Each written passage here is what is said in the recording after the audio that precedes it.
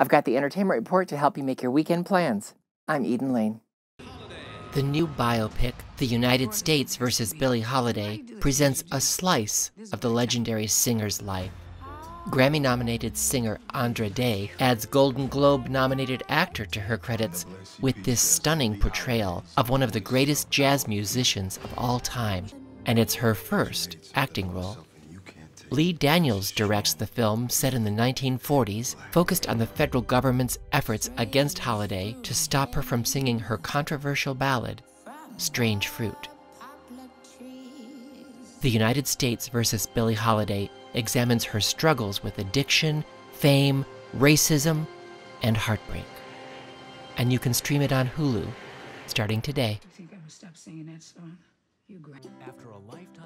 And for more family friendly fare, the new animated feature Tom and Jerry is based on the familiar characters created by William Hanna and Joseph Barbera. So many adults may feel instant nostalgia for the cat and mouse. Now we join them in a New York City luxury hotel as their hijinks involve a young event planner.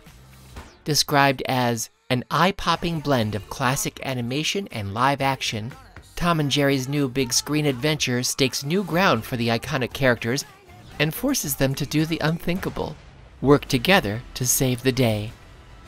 The film is rated PG for cartoon violence, rude humor, and brief language. And it's in theaters and on HBO Max today. Well, that's the entertainment report for today. I'm Eden Lane.